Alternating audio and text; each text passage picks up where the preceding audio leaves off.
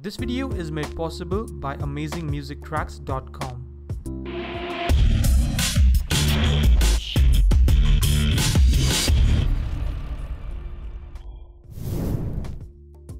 Hey guys, what's up? I'm Nikhil from dopemotions.com and welcome to this brand new After Effects tutorial.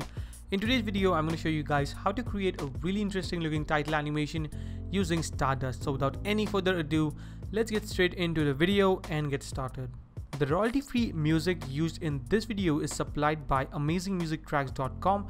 Check out the link in the description below for more information. Alright, so here we are in After Effects. So let's start by creating a new composition and let's rename this to main cause this is going to be our main comp 1920 into 1080 30 fps 10 seconds should be good so let's hit ok and let's start by creating a new solid. So hit ctrl y on the keyboard to create a new solid and let's rename this to bg for background.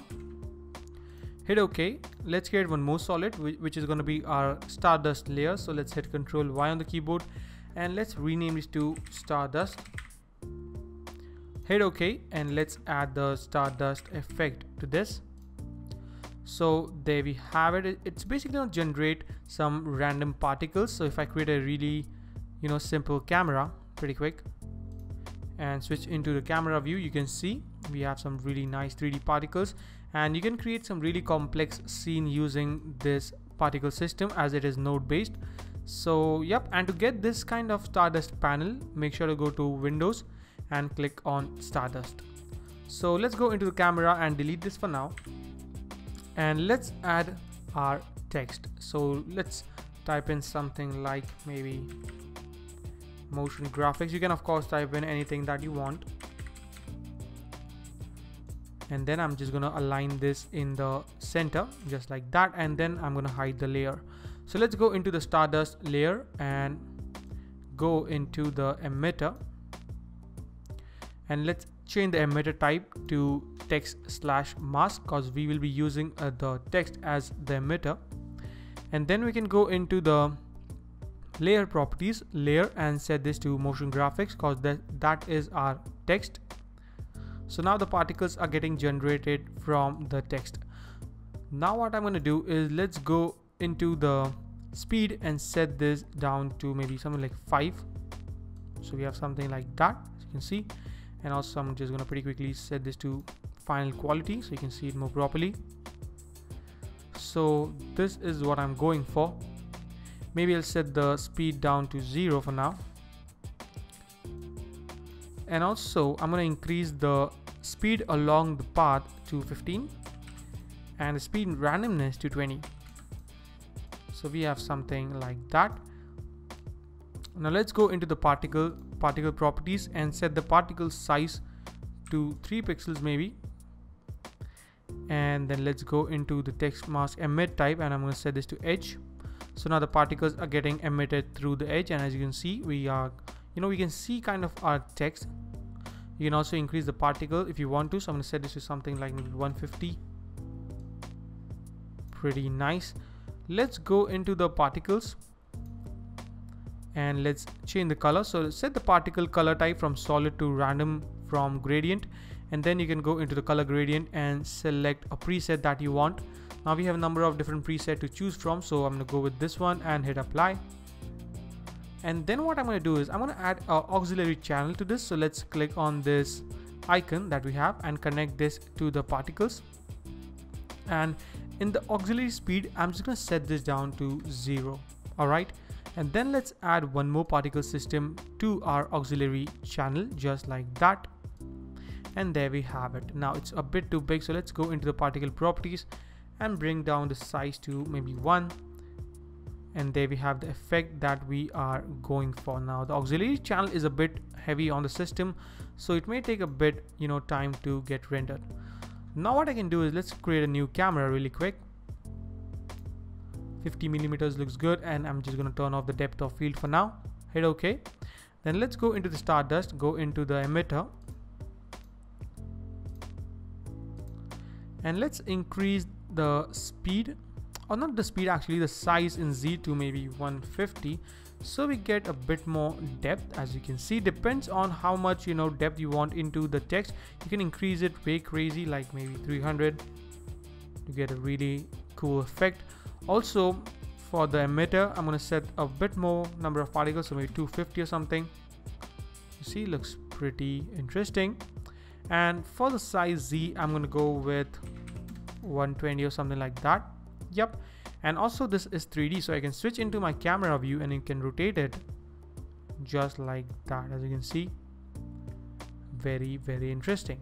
So now what I can do is I can maybe you know go into camera view and zoom in a little bit. Bit more. And also I can turn on the depth of field so hit A two times and turn on the depth of field. Increase the you know the aperture to around 120 or something like that. And for the focus distance I'm gonna actually start from maybe 800 or something. Let's see. Yep I'm gonna go on increasing the focus distance unless and until it focuses our text. Yep something like that as you can see now increase the blur level just to get a more tighter you know depth of field. Go on increasing the focus distance just to get the desired look.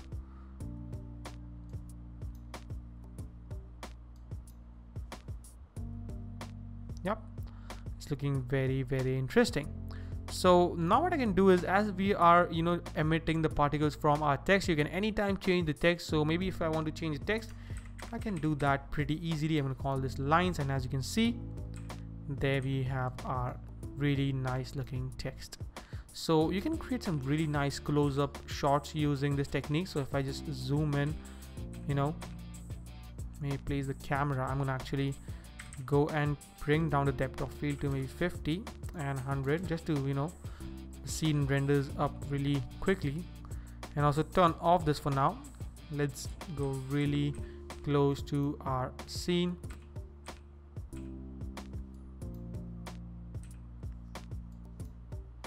As you can see we have a lot of depth into our scene. And if you don't want these dots that we have you can you know anytime turn off the particle just like that. And you have some really nice and simple lines but I like to keep it at maybe let's go with two pixels and turn this on so we get this really nice kind of dotted feel and as you can see the particle starts emitting from the dot.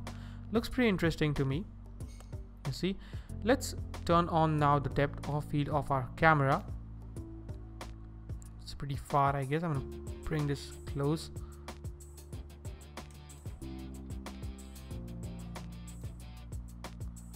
Yep let's increase the blur level and the aperture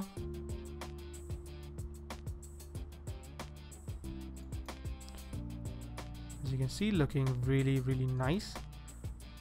Also I'm gonna I think bring down the particle 2 size to maybe 0.5 or something like that because it's a bit too big. 0.5 maybe. Yep that is looking much better. Or maybe go with something like 0.7 or something. Yep that is looking much better. So you can see we get this really nice kind of a macro shot you can say so let's do some pretty simple camera animations really quick. So let's go into the camera hit a two times and turn off the depth of field just for now. And also I'm gonna hit U and reset the camera. Actually hit U select the camera. Oh I think it's A. I don't know. I forgot the shortcut. So anytime. Anyways I'll just reset this just like that. You can see we have our text. I think I need to increase the size of the text a bit. Maybe 50 or something yep much better. Let's position it in the center. You know turn on the title action safe. Just be a bit precise. And there we go. You can always select this maybe and I think it should align. It's not aligning it. So I think we reset the camera. Yep that is what I'm going for. Let's set this to 5 second. Okay. I'm gonna also increase the depth so I can increase the Z size of the emitter so maybe 150 or something like that. Yep looking pretty nice. So let's create a really cool camera animation or really simple camera animation. So let's select the camera hit P for the position properties. Create a keyframe go back maybe to two seconds just so that we can see the text. And zoom in really really close. Just like that okay and drag the keyframe to the very beginning. Select the keyframes and hit F9 to easy ease the camera easy ease the keyframes. Go into the graph editor select this point and drag this handle to the left just like that and maybe a left just like that. So now we should have this really cool looking animation. Now to make it look more interesting what I can do is let's go into the stardust. You can create some really different effects using this. So one effect that I like to show you guys is if I go into the auxiliary system and increase the speed I guess set this to 10 you get this really interesting effect as you can see. Looks interesting and kind of weird as well. It's a bit too much. Maybe let's set this to 50 and as you can see it's kind of fireworks kind of stuff so you can play around with the speed and you know find the effect that you like. Also you can do is rotate it or maybe I can orient it to a different maybe position. Let's try it in a different direction. No it's not working. Alright so now I'm gonna go into the emitter and if I play around with the speed so if I make this maybe something like 5 it's to displace the lines to create a really nice and kind of an abstract look. So you can keep it really high if you want to maybe something like 20 to get some really crazy look which I think is pretty interesting. But I think it's a bit too much so I can go maybe something like 7 which looks very very nice and subtle. And there we have it. Really nice looking animation. So let's let's place it in the position. And let's do some color correction or let's add some glow I'll say. So let's add some glow to the stardust layer there we go let's set the threshold a bit high. So like that increase the glow radius really really high to maybe something like that to get this really nice look as you can see. Also for the glow threshold I'm gonna set this to 60 60 is a bit too much maybe 75 or something. Yep that is looking very very nice. Let's set this full. And let's add some optical flares to this just to make it look more interesting so let's create a new solid by hitting Control Y on the keyboard and let's rename it to OF for optical flares. Set the blending mode to screen and let's add optical flares to this. Let's go into option. We just need the glow so I'm gonna clear this all and just use the glow. And I'll position it somewhere around there. And let's change the color to something like a really nice orangish color. Something like that. Let's hit control D to duplicate it and let's make this kind of a reddish color. And I'm gonna place it somewhere around there. I think it's looking very very nice. Also I'm gonna switch to 16 bits per channel just to avoid any kind of color bendings. Or you can also add a noise to this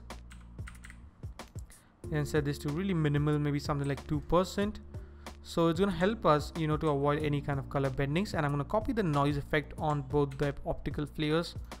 And as you can see we get this really interesting animation.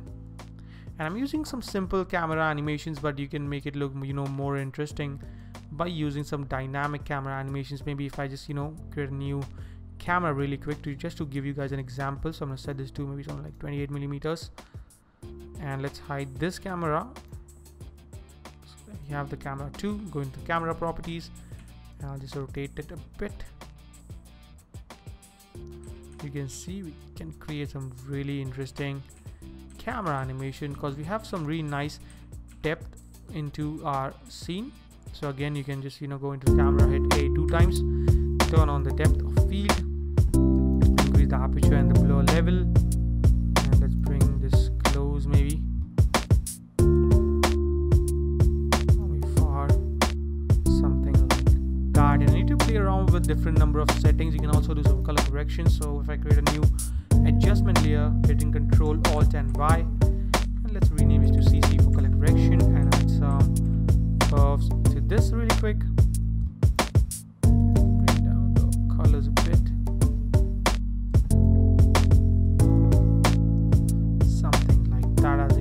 get this really interesting look.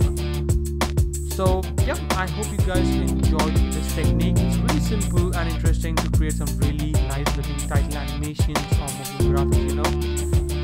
So that is a wrap for today guys. I hope this video was helpful. And if it was make sure to subscribe comment and like. And i will see you in the next video. Till then take care. Thank you so much for watching. And don't forget to stay raw stay creative Thank you.